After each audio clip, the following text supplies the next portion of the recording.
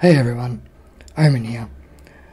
Now, I've had a, quite a few people ask me how I got the RTX texture pack in my Minecraft Windows 10 edition. So I figured I'd just show you how it's done. Now the first thing you want to do is boot up Bedrock Edition. Give it a million years to load.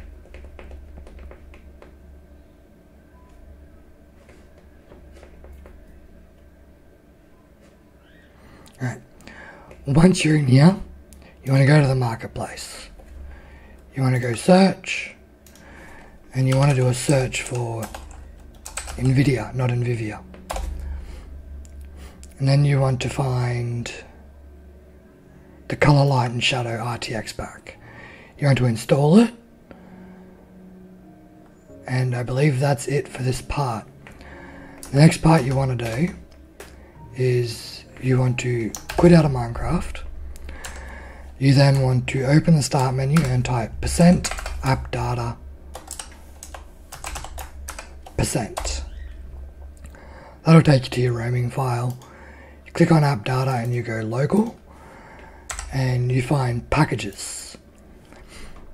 You scroll down in packages till you find Minecraft, which I at this point cannot find.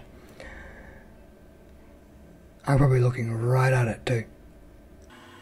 Mm, Minecraft, there it is. From here you want to go local state, premium cache, world templates. Now in here, this is the preview world for the RTX pack. You want to go into resource packs, and right here, RP0.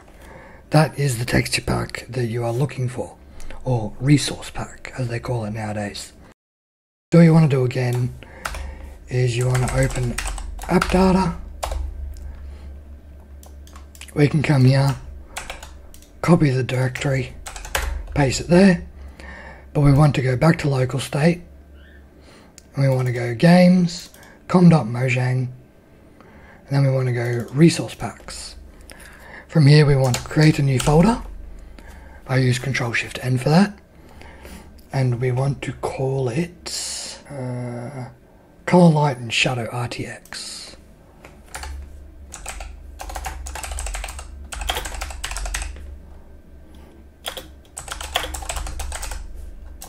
I can spell too.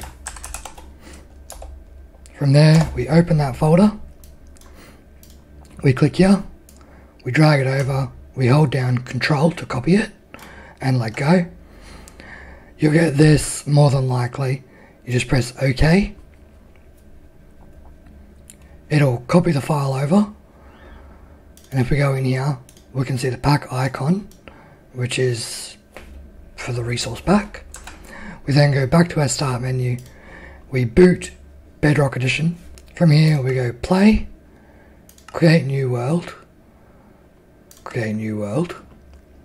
We then go down to resource packs, my packs, and activate the RTX Showcase resource pack.